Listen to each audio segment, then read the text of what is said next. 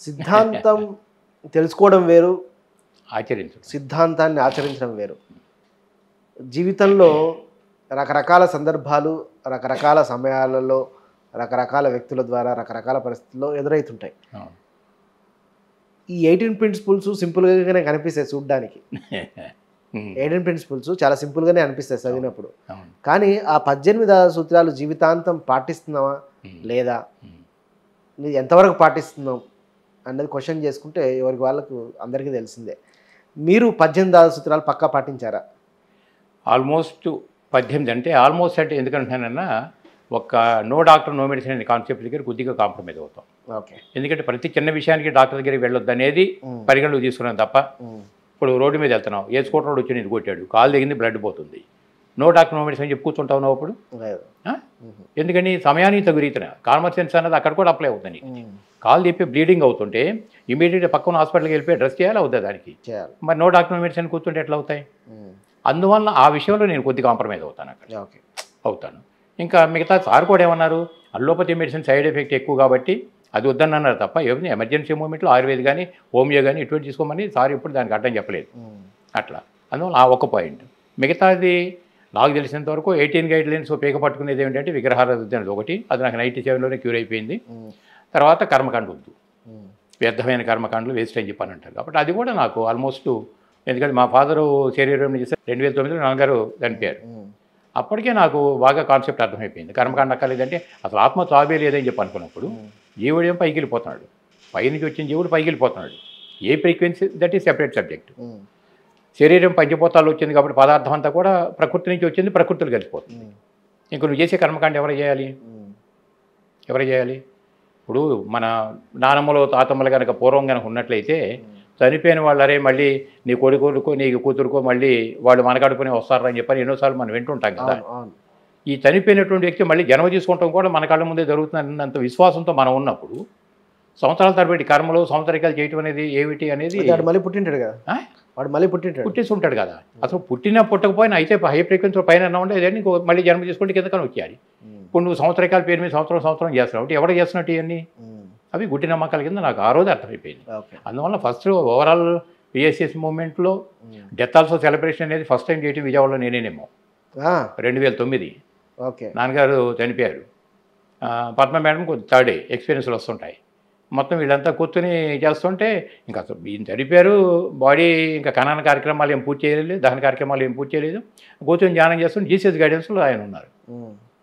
Jesus తోటి అరే ఏంటి నాన్నగారు మీ నాన్నగారు జీసస్ గైడెన్స్లో వెళ్తున్నారంటే అయ్యి ఉండొచ్చు. వాళ్ళ పూర్ణాత్మ కానీ వాళ్ళు కానీ అయ్యి ఉండొచ్చు.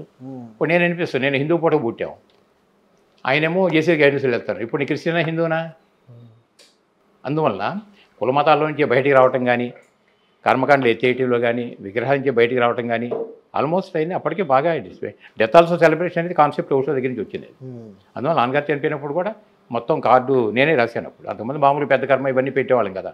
అవన్నీ తీసేసి సమ్యక్ వేడుక అని చెప్పని పెట్టాం. వేడుక సెలబ్రేషన్ అది. సెలబ్రేషన్. పెట్టి కార్డు నాన్నగారు ఎనభై ఆరు సంవత్సరాల. సుమారుగా? సమ్యక్ వేడుక. వేడుక అని పెట్టి సమ్యక్ అనేది పెట్టినట్టు గుర్తు నాకు. వేడుక అనే పదం మాత్రం వాడాం అప్పుడు. సార్ని తోడి సారే చెప్పారు సార్. మీరే రావాలి సార్ దీనికంటే నేను నార్త్ ఇండియా ఎక్కడో ఉంటాను కుదరలేదు పత్రి మేడం ఒకసారి తీసుకెళ్ళమని చెప్పి అన్నారు పాలు విజయ్ కుమారు పత్రి మేడం మేడంతో వచ్చారు. ఫస్ట్ అదే నేను రాసింది. పెద్ద కర్మ అవన్నీ చేసి వేడుక అంతే. కాబట్టి నాన్నగారు ఇన్ని సంవత్సరాల వయసులో అనేక రకాల జీవిత అనుభవాలన్నీ పెంచుకుని పైలోకాన్ని వెళ్ళిపోయిన శుభ సందర్భాన్ని పురస్కరించుకుని ఈరోజు సెలబ్రేట్ చేస్తాం కాబట్టి లెవెన్ టు వన్ ప్రోగ్రామ్కి వచ్చి హ్యాపీగా భోజనం చేసేయాలని కార్డు రాసాము ఆ, చాలామంది విమర్శించారు. శుభ సందర్భం ఎలా అవుతుంది ఇది? బుద్ధి జ్ఞానం ఉందా నీకు? చనిపోతే శుభ సందర్భం అంటే వాళ్ళ పని నేను నాకేంటంటే అరవై సంవత్సరాలు ఉద్యోగం చేసి నువ్వు రిటైర్ అయిపోతే అంతనే వస్తుంది? అరవై సంవత్సరాలు సందర్భం. మా నాన్నగారి శరీరం విడిచిన శుభ సందర్భంగా. శరీరం విడిచి పైలోకానికి వెళ్ళిపోయిన శుభ సందర్భం. శుభ సందర్భంగా. అది. ఆ. శుభ సందర్భం రాసినందుకు చాలా మంది తిట్టారు. బంధువర్గంలో అయితే తిట్టినోడు లేడు. తిట్టినోడు కల్లా క్లాస్ బీకి చూడినేవాడిని నా నా కాన్సెప్ట్ ఏంటంటే నన్ను అంటే ఇంకో విధమని కాదు అది. అరవై సంవత్సరాల పాటు ఉద్యోగం చేసి నువ్వు రిటైర్ అయితే హ్యాపీ రిటైర్మెంట్ అని చెప్పని సెలబ్రేట్ చేసుకో. ఇప్పుడు ఈ పత్రిక చెప్పిన ప్రకారంగా ఈ సబ్జెక్ట్లో మనం ఈ ప్లాట్ఫామ్ మీద స్థిరపడాలంటే కనీసం మూడు నాలుగు వందల జన్మలని పట్టుంటాయని సార్ చెప్తే వింటాం. ఇన్ని వందల జన్మల్లో అనుభవాల పరంపర పెరుగుతూ వెళ్తుందా లేదా సోల్ లెవెల్లో? కదా. ఎన్ని జన్మల్లో నువ్వు ఫిమేల్గా వచ్చావు? ఎన్ని జీవిత అనుభవాలు పొందావు? ఎన్ని జన్మల్లో మేల్గా వచ్చావు? మేల్ అనుభవాలు పొందావు? సోల్ లెవెల్ వెళ్ళేసరికి అది ఫర్ ఫిమేల్ మేల్ తేడా ఉంది నీకు? ఇప్పుడు మేల్ ఫిమేల్ తేడాలు ఏం లేవు. అనుభవాల పరంపర ఒకటే మిగిలింది నీకు. అటువంటి పరిస్థితుల్లో నాన్నగారు మరి ఇన్ని వందల జన్మల్లో ఈ విధంగా వచ్చినప్పుడు ఈ జన్మలో ఆయనకున్న ఎనభై ఆరు సంవత్సరాల వయసులో జీవిత అనుభవాలు ఎన్ని పెరుగుంటాయి ఆయనకి? ఇన్ని అనుభవాల పరంపర పెంచుకుని పైలోకానికి వెళ్ళారా? ఎక్కడికి వెళ్ళాడు ఆయన? మరి పైలోకానికి వెళ్ళటం శుభ సందర్భమా కాదా? నువ్వు అర్థం చేసుకునే సాకి నువ్వు ఎదగాలి. బట్ నన్ను విమర్శిస్తే నాకేంటి? అట్లా బాగుంది. అడిగిన వాళ్ళకన్నీ చెప్పేవాడు నాన్న ఫస్ట్ టైం విజయవాడలో మంచి కళ్యాణ మండపం తీసుకుని హ్యాపీగా లెక్కలు గీక్సీలు పెట్టేసి అంటే ఓషో చెప్పింది చేసి వెరైటీ చేస్తారు కదా మీరు. వెరైటీ అనేది కూడా తెలియదు కానీ. అంటే ఏది తెలిస్తే దాన్ని ఆచరణలో పెట్టాలని లెక్కనండి అంటే ధ్యానం అనేది ఇట్ నాట్ థియరీ ధ్యానం మీన్స్ హండ్రెడ్ పర్సెంట్ ప్రాక్టికల్ జ్ఞానం అంటే అర్థం ఏంటి నువ్వు ఎలా జీవిస్తున్నావు? అనేది కదా జ్ఞానపరమైన జీవితం. అది అనిపించింది అంతే ఏదో మెహర్బానీ కోసం చేయటం అని కాదు అది ఫస్ట్ టైం పెట్టాం. దాదాపు రెండు వందల రెండు వందల యాభై మంది వచ్చారు. పదకొండింటి నుంచి అసలు ఎందుకు మన కార్యక్రమాలు మార్పు తీసుకొచ్చాం? పెద్ద కర్మ అనేది ఎందుకు చేస్తున్నాం? నేను ఈ విధంగా మార్పు తేవటంకి అర్థం ఏమిటి? పత్రిక ఇచ్చిన ప్రకారంగా జ్ఞానపరమైన అవగాహన ఎట్లా పెరిగింది? అసలు పరంపరలో సోల్ లెవెల్లో వచ్చినప్పుడు అవగాహన స్థాయిలు ఎట్లా ఇట్లా పెరుగుతుంటాయి? మళ్ళీ పునర్జన్మకి ఎందుకు వస్తుంటాయి? ఇవన్నీ సబ్జెక్ట్ చక్కగా విడమర్చి చెప్పి వచ్చిన వాళ్ళకంతా హ్యాపీగా విందు భోజనం పెట్టి అది శుభం చెప్పి ఎందుకంటే తాంబూలతో సహా ఏర్పాటు చేసాం ఐస్ క్రీమ్ తాంబూలంతో సహా. పెడితే అందరూ ఫస్ట్ టైం రెండు వేల తొమ్మిది. నాన్నగారు చనిపోయింది అది అంటే ఎయిటీన్ గైడ్ లైన్స్లో నాన్న కర్మకాండలు అక్కర్లేదని అంటే దాని అర్థం అట్లా రావాలి.